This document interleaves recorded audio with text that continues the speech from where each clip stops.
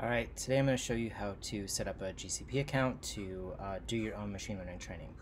Um, so this is like the third or fourth time I've recorded this video now. Um, it turns out this is not the easiest process, but uh, if you follow along with my directions, I think it'll be pretty straightforward. Um, I did all the hard work for you, um, so we can go ahead and start doing this. So the first thing you want to do is you want to go to uh, cloud.google.com you're going to want to sign in with uh, your account. So I have a special dummy account here that I'm going to sign in with. You want to click the Get Started for Free button. So uh, one of the reasons why I want to teach with this is uh, GCP, Google Cloud Platform, gives you $300 in credits uh, to do training. So for my StyleGAN class, like that's probably enough to like actually do the entire class. So that means this plus Colab means you can basically take the class for free. So uh, this is pretty helpful. Um, I will say GCP is harder to set up than like Paperspace. Um, Paperspace is like really straightforward, which is nice. Uh, this is a little bit harder. So, uh, but it's free, or so like up to $300 worth of free. So we're gonna go ahead and do it this way. Uh, so again, you're gonna click Get Started for free right here.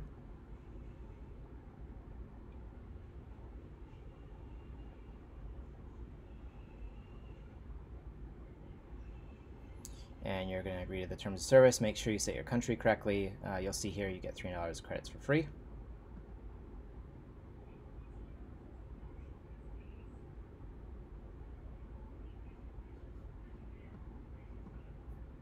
So I'm going to go ahead and put in my info. So I'm going to put in my address, and I'm also going to put in uh, my credit card number. Um, I'm going to stop my video for a second, come back once I've done this, uh, just for security sake um, but you'll go ahead and do this as well. Okay, so I've gone ahead and put in my credit card info and my address. Um, I'm just going to click start my free trial.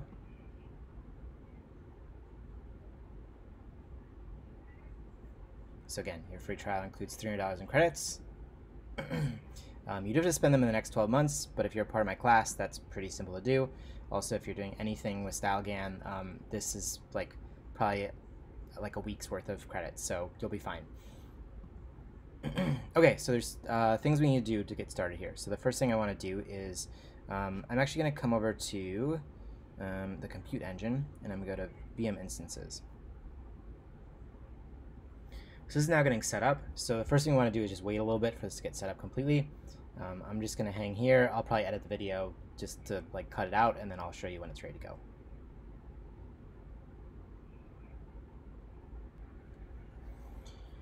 Okay, so uh, this now is finished. Um, the reason I just make us wait for this to be finished is if you go ahead and try to do the other steps and this isn't set up yet, uh, you'll get blocked. So now we're ready for the next steps, which are actually not doing anything at VM instances. Um, come over here to the hamburger menu, click on this, and let's go to IAM admin, and then let's go to quotas.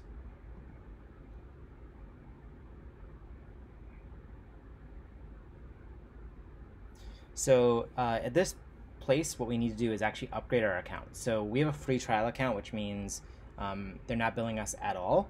Uh, in order to use GPUs on GCP, you actually need to upgrade your account so that um, they will give you, they will offer you some GPUs to use.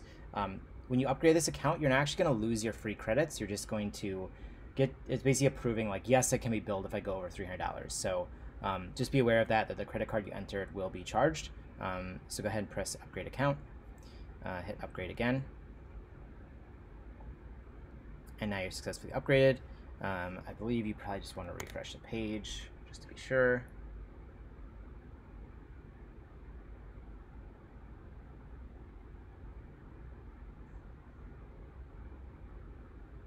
Cool, and now that message is gone. Okay, so now we need to set some uh, GPU quotas for ourselves. So the first thing you want to do is come over to, I believe, metrics, and turn this off, so select none, and then type in GPUs. Um, and the first thing you want to do is, actually let's just select all these. Um, you can hit select all, and the next thing we want to do is come over here and just hit location, uh, turn none, and then let's do global, and then let's do, we want uh, US West, US West 1. Cool. So now, oh, it turned off, no, it didn't turn off global. Okay, cool. So um, this is essentially the place where we need to um, pick out our GPUs that we want to use. And we basically have to get pre-approved for them, um, and it takes like five minutes. It's like pretty straightforward, but we need to do this. So the thing you want to do is you want to find, um, let's see. So you want to do, so the first thing I want to do is I want to go to global and go to global engine API and click check on this little button here. And then you're going to come up here and you're going to hit edit quotas. And you're probably going to need to put in your phone number and you're need, gonna, you need to hit next and you're going to say new quota limit. So enter new quota limit. So you're going to set this to two. Um, we're probably only going to use one GPU in this class, but just in case, I'm going to set this to two. Um, the reason is if you really want to train something really quickly, you could assign two GPUs. Um, that's possible. If you if you know what you're doing with GPUs and you want to go ahead and use two, you can. Um, it's a little bit of special stuff in StyleGAN to actually set this up, but uh, let's just ask for two just in case. And then um, we want to, for the request description, we just want to say um, training uh, tensor flow StyleGAN model. I don't think they actually check this. I think like there's probably just some automated process and they just, honestly, they probably just give it to you. So you just hit done. Um, okay, so now we're gonna hit, uh, I think we're gonna hit X out of this. And then we're gonna come over here and we are going to find um, the compute engine um, P100s. So click on this one so I'm to recommend we use the P100s. If you have, if you know a lot, a lot about GPUs and you want to go ahead and use the V100 or something else, um, you're more than welcome to. Uh, the reason I like the P100s is that um, they're, they're pretty fast, but they're still fairly affordable. So I think this is a good option. Um, I think we just want this one, but I'm also going to check for uh, committed P100. So I'm going to check this as well. And I'm also going to come up here and I'm going to hit edit quotas again. Um, so see actually, oh, okay, so we lost our description, but now we can come in and just hit two for both these. So two, um, two, and two, and then we're just gonna say uh, training uh, TensorFlow style GAN model. Hit done, we're gonna hit submit request. Uh, and it'll tell us when the request has been submitted.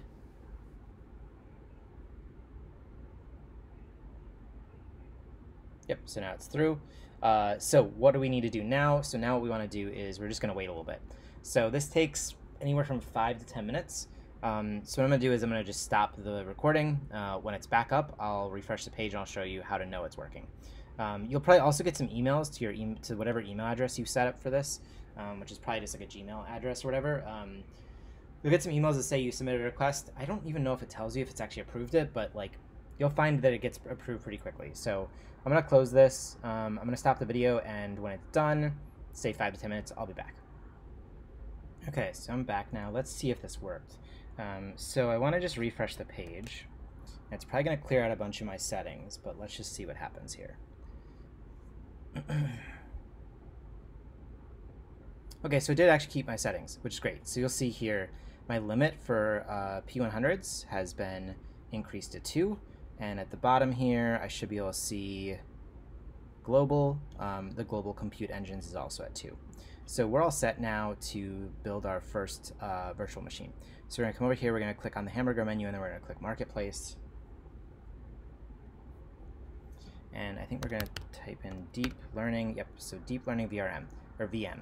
So uh, basically what we're going to do is we're going to install sort of like a pre-built machine, similar to how Paperspace works with their ML in a box. Um, we're to use the deep learning VM. Uh, so it's just this one. So just click on this. And then you're going to want to click launch.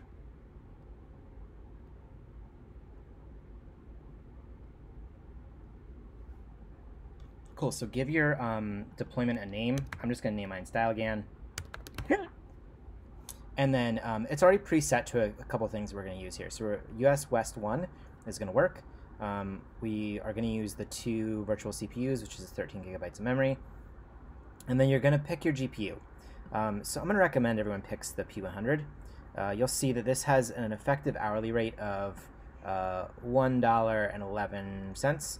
Um, this is on a monthly basis. We're going to pay by the hour, so it'll probably be a little bit more. Um, but even at that cost, if you do 300 divided by, let's say, 1.25, um, that's 240 hours, so that's 10 days of training time, which should be plenty for what we're needing. Um, so we're going to do that. Uh, we're gonna leave it at uh, the one GPU. If you really want to do two, two GPUs, like you can set it to two. Just know that your price basically doubles. Um, so again, it like sort of works out that it's like you'll train twice as fast, you'll burn through credits twice as fast. It just sort of works that way. Um, it's up to you. I think the one is fine. Um, it also means there's a little less finicky stuff you have to set in uh, StyleGAN when you're running your model, but it doesn't matter either way. I'm just gonna recommend one. It's a little bit easier um, for me to like work with everybody. So if you don't know what you're doing or you don't know what any of this means, just leave it at one and one and then P100. Um, you can also pick the V100. Uh, again, it's much faster, um, but the price is one and a half times as much. Um, so again, if you know what you're doing and you really want a V100, go for it. Um, I'm just going to recommend for most people that this is enough. Uh, next thing is the framework. We want to pick uh, TensorFlow Enterprise 1.15. Um, StyleGAN 2 does not work with TensorFlow 2 uh, despite what that sounds like would work. So we want to do TensorFlow Enterprise 1.15. Uh, we do want to install the GPU driver on first startup. So that's definitely what we want to do. Um, Jupyter Lab. So I'm going to teach using SSH. So I'm going to recommend you don't turn this on. If you are uh, a Python notebook person and really want to use notebooks, um, or sorry, Jupyter notebook person and you really want to use Jupyter, uh, you can go ahead and check this box. Um, I assume you also will know how to convert my commands from SSH to, to notebooks. Um, that's fine. I'm going to recommend you leave it off. Uh, the last thing we want to do is let's make our boot disk a little bit larger. So let's do 200 gigabytes. Um, I think that's going to change our price a little bit. Uh, eh, didn't look like it really did. Um, I bet if we change it to SSD, it will. Yeah. Um, oh, by like, wait. Oh, by like 4 cents. Um, I think standard per persistent disk is fine. Um, it'll be a little, little bit slower, but not by much.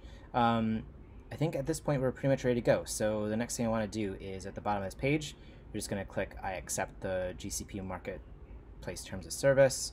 Um, click on here to details. I just want to make sure. Um, yep, we're looking at a price here. So uh, yeah, so I think we're ready to go. Um, oh, you know, one more thing we want to do. Um, I don't know if I can actually change. I think I'm stuck with Debian, which is fine. I, I would usually like switch the operating system to Ubuntu, but I think we're fine with this actually. Um, and I don't see a place to change this. Yeah, so let's just use this. Um, it'll be fine. Um, so we're going to accept the GCP terms of service. We're going to hit deploy.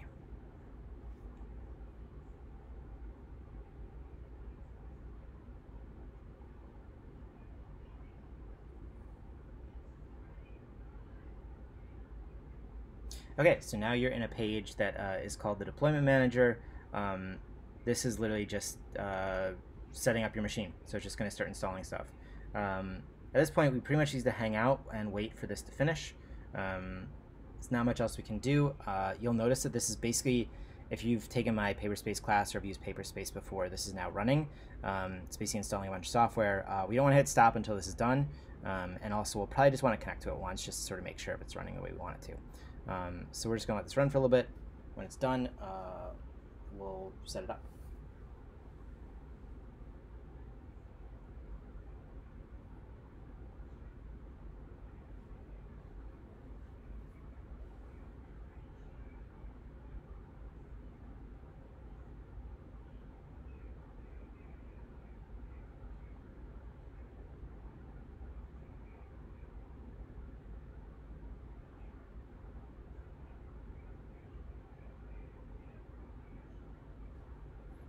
So see we have a resource warning here. Um, I ignore it. Uh, so far I haven't really actually found that it's an issue. Um, so I know sometimes if you're, you're new to stuff like this, seeing a warning is scary, um, but I think we'll be fine.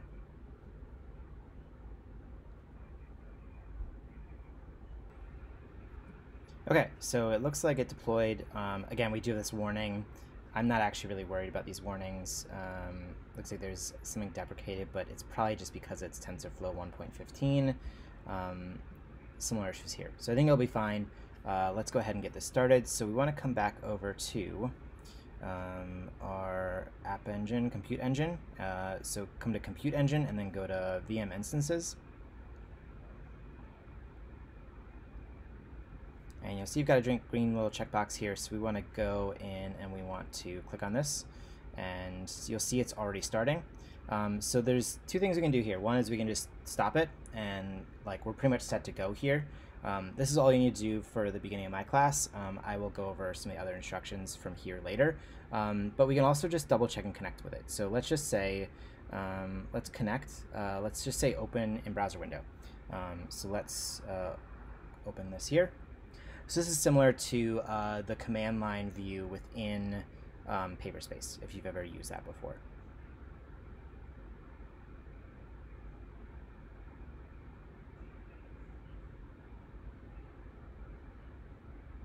Cool. So now you'll notice that we are inside this machine. So we just do ls, you'll see nothing's there. Um, so one of the things that we could do is we could just start to like make sure that things work. So one thing that we can do is just type in NVIDIA um, SMI. That's just going to tell us uh, what GPU we're running. So you'll see I have one Tesla P100. Um, it has 16 gigabytes of memory, um, or of sorry, of virtual GPU. And you'll see that it is running CUDA 10.0, which is fine. That's all we really need. Um, you can also type in nvcc dash dash version, and you'll see that we are running CUDA 10.0. So if you don't know what any of that means, it's fine. Um, we're actually going to use, I'll talk a little bit about this in class. Um, basically, this should just help us know that we've got all the uh, software we need installed. Um, and I bet, mm, and I'm actually, I'll do this later. But so this is everything you need for day one of class. So if you've gotten to this point, um, show up on Sunday and we'll be ready to go. Uh, I'm gonna do one more video after this, actually just like continue this video, but I'll, I'll separate separate it out, which is just to show you how to install a, certain, so a couple pieces of software. Um, so there's a couple models we can use for StyleGAN, a couple different forks, um, and I'll sort of go over those. So at this point, like if you get this by the time our first class rolls around, you'll be all set to go. I want to make sure that people aren't running into issues here. So if you are running into issues, like email me or Leah, or uh, just like write down the commands you ran into or the issues you ran into, and uh, we'll get set get you set up on Sunday. Um, all right, cool, thanks. Really, one really really important thing, which is how to stop your machine. So now that you've deployed your machine, it is on, it is running, you're being charged for it. Um, so we need to stop it. So uh, you're to come back to your uh, VM instances. So basically, you're probably in uh, a little screen here um, you're probably in this guy. So you're just going to click back to your instances um, and you're going to make sure this is checked here. And then you're going to come over here, you're going to press stop. Um, and is going to say stop shuts down the instance. If the shutdown doesn't complete within 90 seconds, the instance is forced to halt. This can lead to file system corruption. Are you sure you want to do it? And you're just going to say yes, because I'm not running any processes right now. All my processes are stopped. So I'm going to hit stop.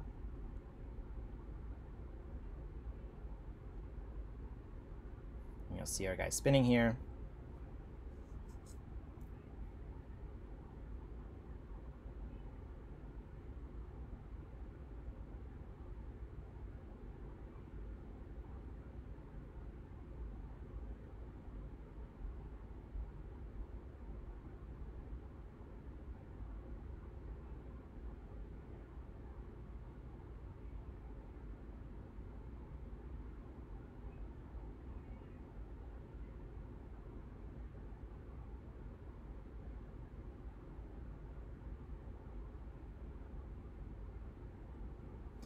Is clearly taking a little bit of time to stop our machine.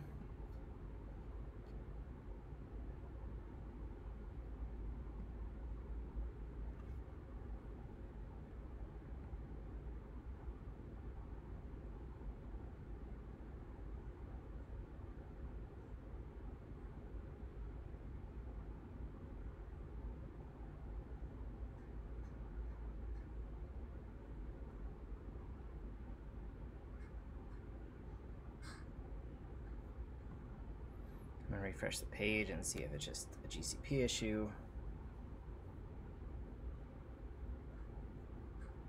And it was. Okay, so when you see stop here, that means the instance is stopped. That means you're off. You're not being charged uh, any hourly rates. So um, your machine is now ready to go. Basically, come back uh, on Sunday and I'll start to teach you how to like do stuff with it. Um, okay, now I'm actually done. Uh, see you next time.